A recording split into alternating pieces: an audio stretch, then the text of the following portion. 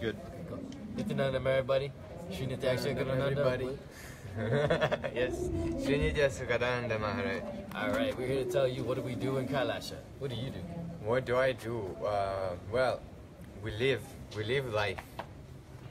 And I really uh, say it from the from my heart because I always thinking before coming here that life is something else. I was thinking it's parties. I was thinking it's this. It's very fast life I was living in.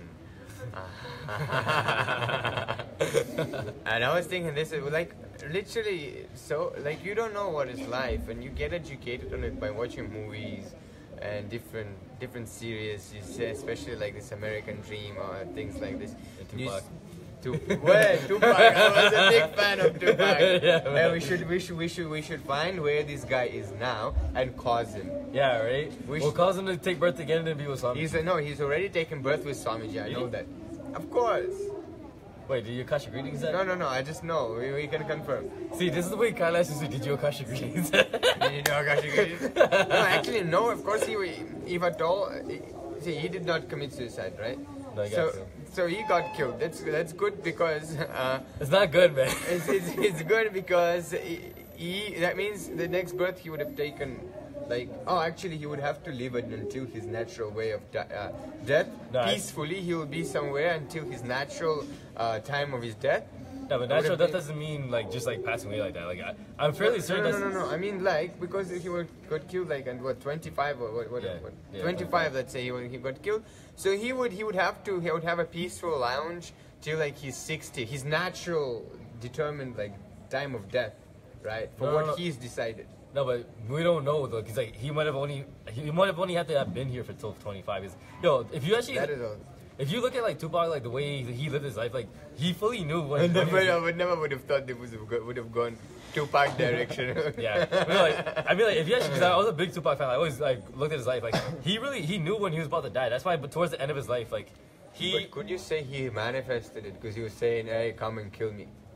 no, He- no, see, see, yo, honestly, I think he was like a mini prophet. I think like he's, you know, how Swamiji said like a lot of great beings descended on Earth to like do like a lot of like groundwork, and then like for so Swamiji could come and like do like the, the big major job, right? I think he was one of those beings.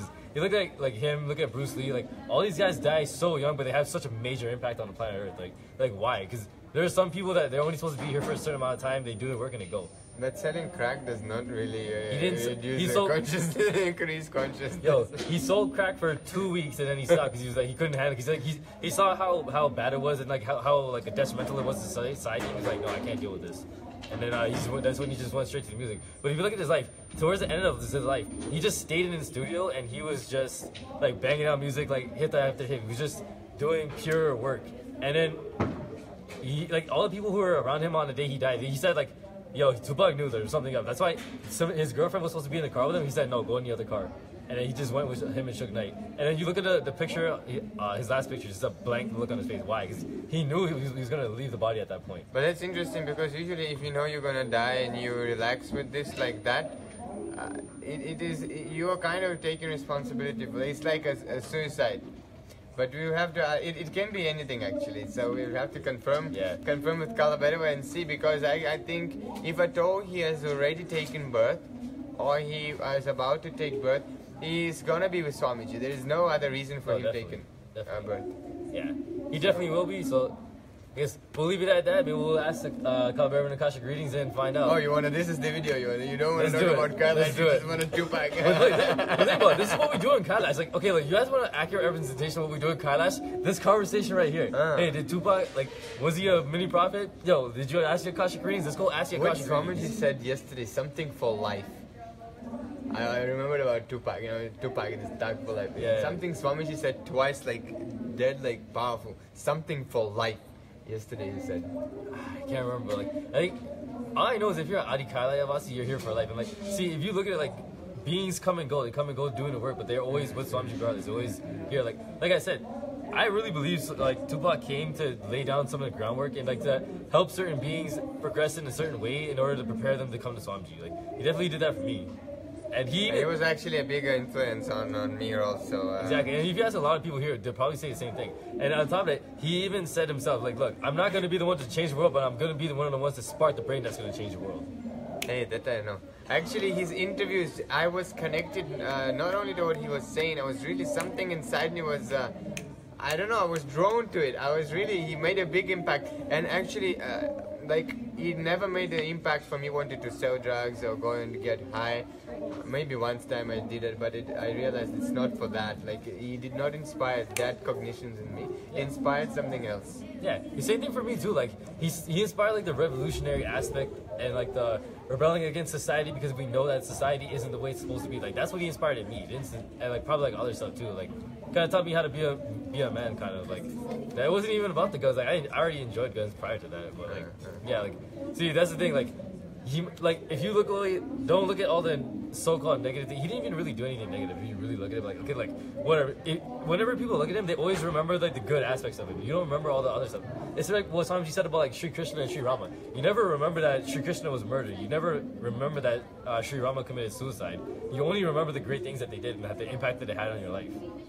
It's the same thing with Tupac. We only ever remember the good things about him. We don't remember like all the crazy stuff that happened. But and if you look at his life too, it's kind of like with Swamiji, like how all these different scandals happen, right? Like it was set up. Hey, I would never have thought that this conversation would go this direction. Yeah, but this is the Adi Kailash conversation. You know what I mean? Like think about it. They set up Swamiji with a girl. Literally, they set up uh, Tupac with a girl too, and they they they really did prove like like they, they were just trying to get Tupac. Like they, they didn't really have any proper evidence. Same thing with Swamiji. They didn't have any evidence. It was completely uh, it was completely and utterly false. And then look at it now. It's proved by the Supreme Court that literally they just tried to get Swamiji on something. Why? Because he's trying to do great things for the world.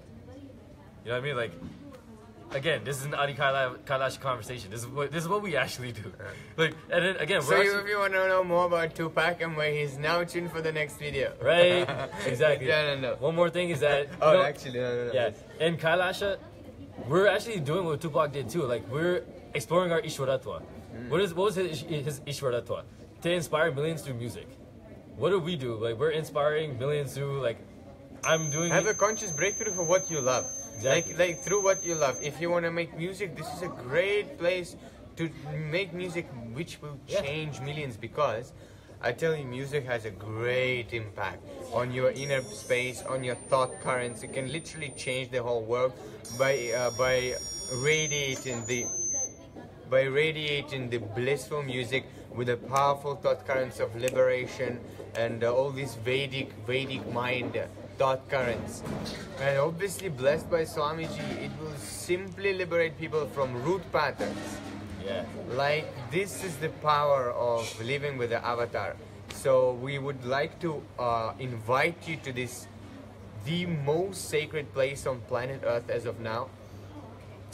Not even planet Earth, who knows, maybe the whole universe. It is the entire universe. Like, other than being in Adi Kailash in the high, uh, 11 dimension, see, there's Adi Kailash in the highest dimension, and there's Adi Kailash in the Bhulok dimension. This is literally This is not even a Bullock dimension anymore, but it is a preparatory step to transition uh, yourself to the Kailash. Yeah. So if you wanna wanna fulfill your life in the best way possible, look, music, art, uh, Oh, you can go. construction, uh, video, videography, cinematics, all these different things. We have all these departments here. You wanna be a Pujari? Like literally anything you can do in Maya, we can you can do it here. You can fulfill your life's purpose in the best way, most ultimate way possible, without having to worry about all these stupid things like monies and bills and all that stuff. So come be an Adi Kailash Vasi with us. Come have a conversation about Tupac and was he an enlightened being or not. You know, come enjoy.